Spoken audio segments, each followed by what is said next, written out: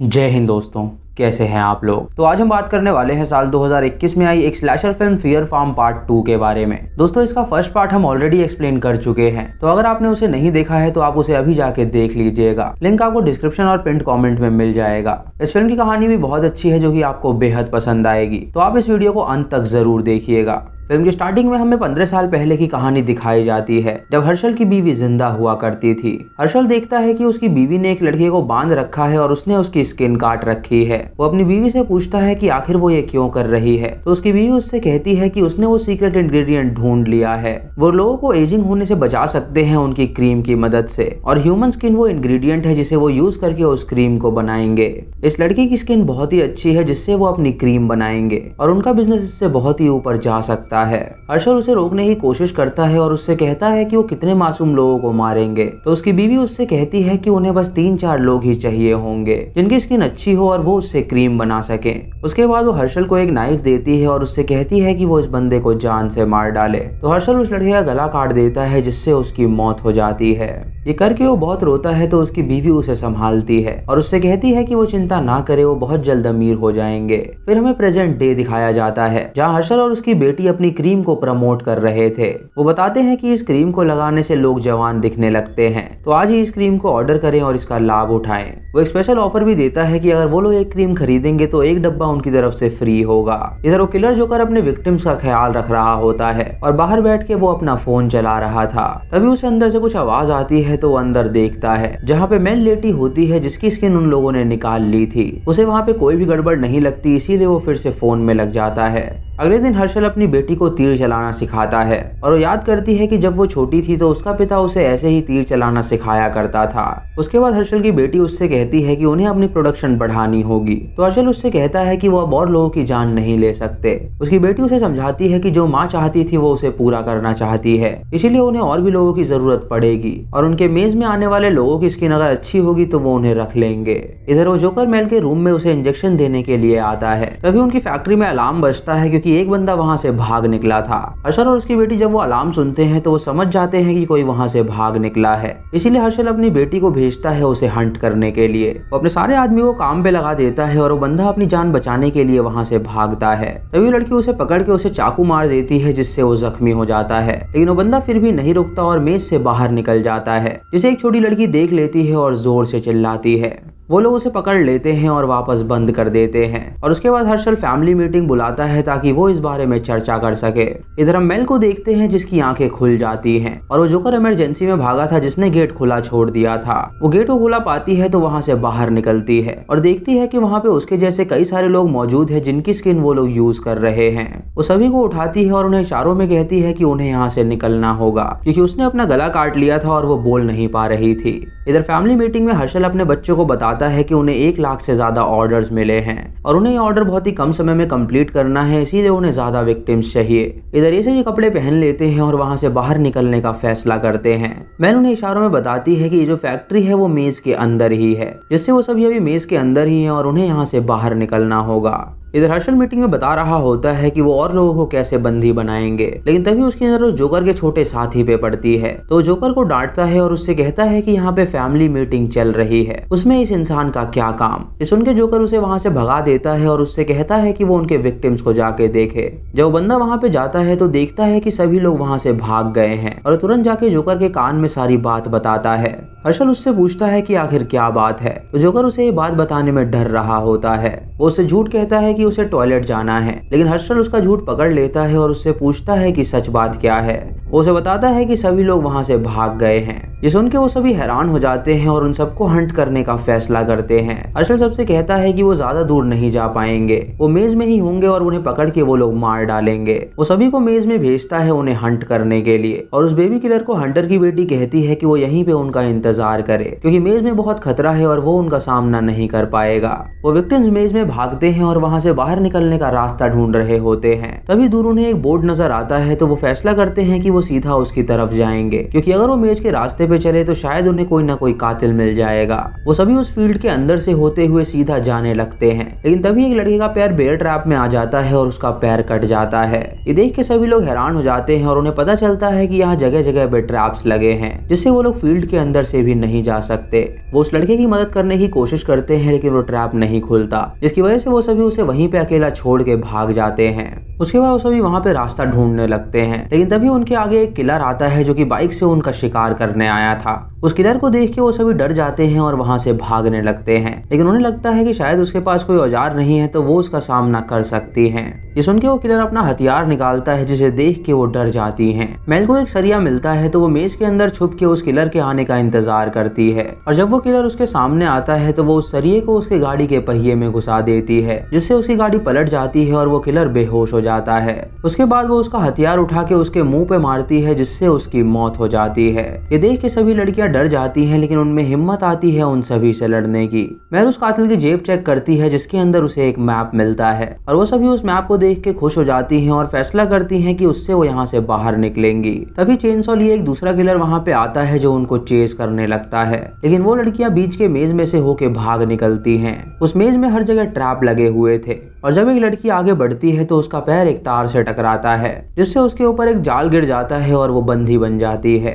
ये देख के सभी लड़कियाँ हैरान हो जाती हैं और उसके जाल को काटती हैं। उनमें से एक लड़की बहुत ही डर जाती है और उनसे कहती है कि वो अकेले ही यहाँ से बाहर निकल के रहेगी। वो उनका हथियार उठाती है और वहाँ से जाने लगती है और उसका साथ एक और लड़की देती है जो कि उसके साथ चली जाती है। इधर मेल के साथ वो तीन लड़कियाँ होती हैं जो कि उससे पूछ रही थी कि अब वो आगे क्या करेंगे। लेकिन तभी एक लड़की के सर पे तीर लगता है जिससे उसकी मौत हो जाती है। मेल देखती है कि वो तीर हर्षल की बेटी ने मारा है तो वो आगे बढ़ती है उससे लड़ने के लिए। वो उसे पीठ के नीचे गिरा देती है और उसकी एक तीर से उस पर हमला कर देती है। लेकिन हर्षल की बेटी काफ़ी स्ट्रांग थी, जो उसे धक्का दे देती है।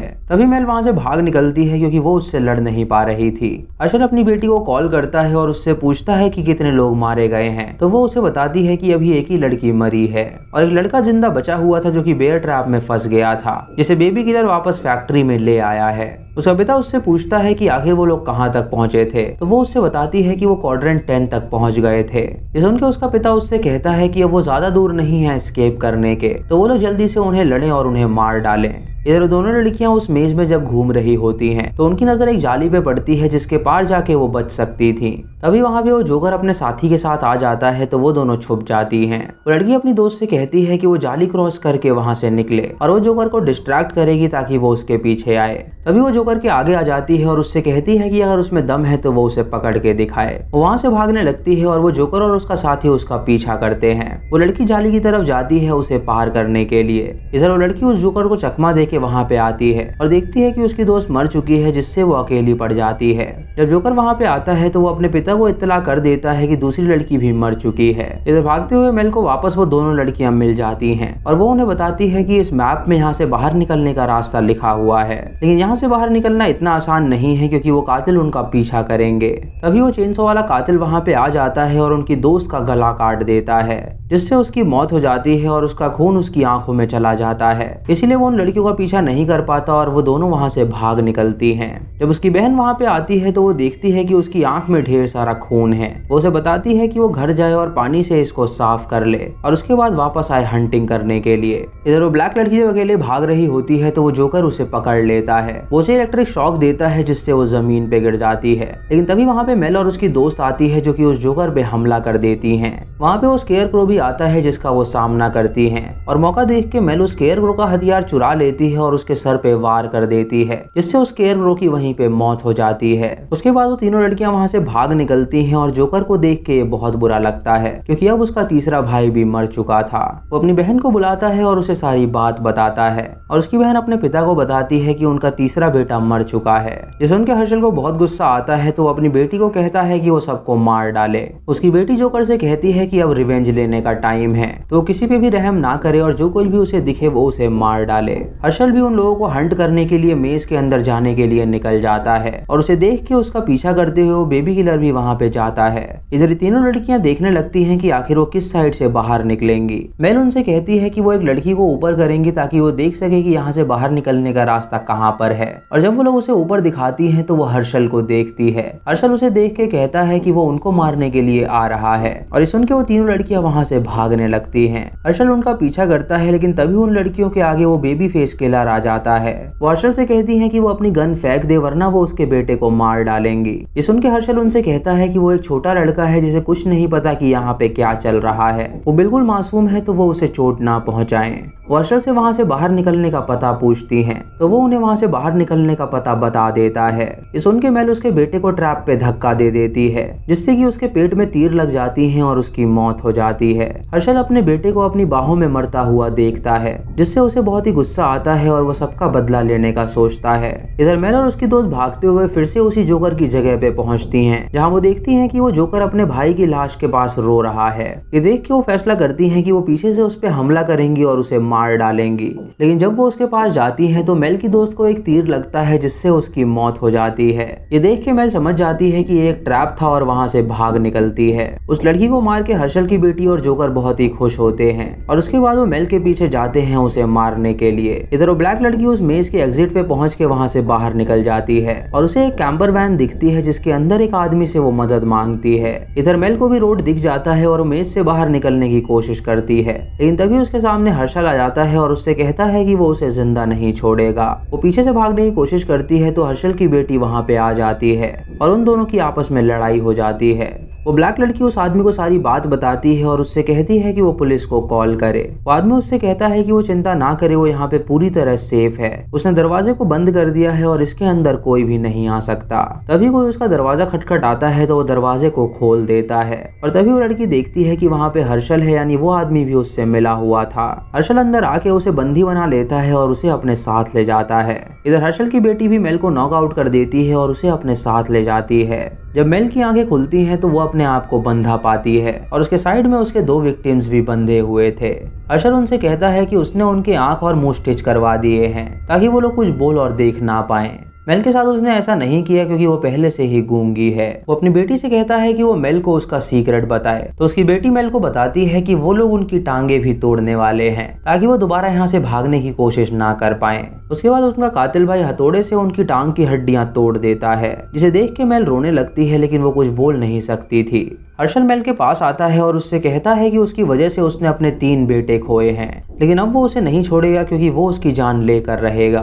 हर्षल की बेटी उससे कहती है कि वो इसे जान से नहीं मार सकते, क्योंकि इसकी स्किन सबसे रेयर है जिससे वो बहुत ज़्यादा अमीर बन सकते हैं। और माँ भी यही चाहती थी कि वो सबसे पहले अपने फार्म के लिए जिए। अर्शल ये सुन के उससे कहता है कि उसकी माँ भी इसी जिद की वजह से मरी है और उसने अपने तीन बेटे खोए हैं तो वो बदला लेकर रहेगा। वो चाकू निकाल के मेल के पेट में घुसा देता है जिससे उसकी मौत हो जाती है और उसके बाद वो अपने बच्चों से कहता है कि वो तैयार हो जाए नया स्टॉक लाने के लिए। अगले दिन वो एक चाइनीज़ बिजनेसमैन को बुलाता है और उसे इंट्रोड्यूस कराता है अपने फार्म से। वो उनसे कहता है कि इस मेज फार्म की वजह से उसका बिज़नेस काफ़ी बूमिंग पर है और वो चाहता है कि उनकी कंपनी उनके साथ कोलैबोरेट करे ताकि चाइनीज़ लोग भी यहाँ पर आए और उनके मेज का लुप्त उठा सके। ये सुन के वो चाइनीज़ कंपनी का मालिक उसका ऑफ़र एक्सेप्ट कर लेता है और इसी के साथ ये मूवी खत्म हो जाती है। यानी दोस्तों, तीसरे पार्ट में वो लोग बिज़नेस को एक्सपैंड करेंगे और हो सकता है कि चाइनीज़ लोग यहाँ पर आए और वो लोग उन्हें हंट करें। तो दोस्तों, ये थी आज की वीडियो अगर आपको वीडियो पसंद आई हो तो आप हमें कमेंट सेक्शन में ज़रूर बताएँ। चैनल पे नए हैं तो सब्सक्राइब करें और बेल आइकॉन दबाएँ नोटिफिकेशंस के लिए। दोस्तों रिसेंटली हमने दो लेटेस्ट मूवी एक्सप्लेन करी है। जिसे आपने नहीं देखा तो आप उसे अभी जाके देख लीजिए। तो दोस्तों, मैं मिलता हूँ आपको अगली वीडियो में। तब तक के लिए जय हिंद।